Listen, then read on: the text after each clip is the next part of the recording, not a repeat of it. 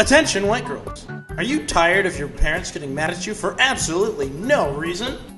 Kelsy, what are you doing?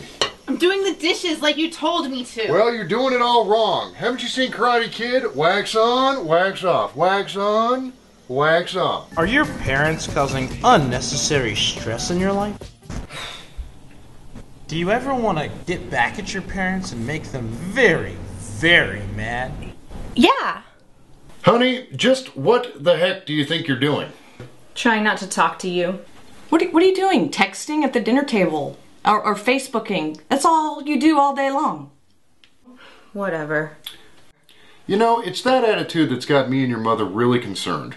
You know, it just feels like you just don't want to be affiliated with this family, young lady. Well, maybe I don't. You guys don't understand me. Well, you- you're right. You do you- won't let us know. Do you need to go into a timeout and maybe think about things? No. I, I think she might need a mm-hmm. timeout. Yes, I agree. Timeout. In situations like this, just say gin and juice three times and watch how fast your problems will dissolve. Gin and juice, gin and juice, gin and juice! Hood nigga. I keep the perk by the pound. The truck stay bunky, y'all know we run the town. Hood nigga. And I keep a bad bitch around. Big bitch. Long hair, yellow, white, red, brown. For as little as 1995, you can bring home a hood nigga today.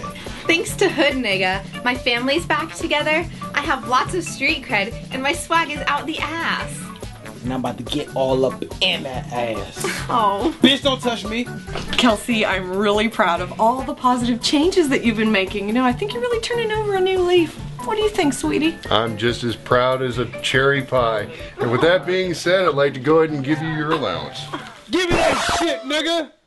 Hood nigga.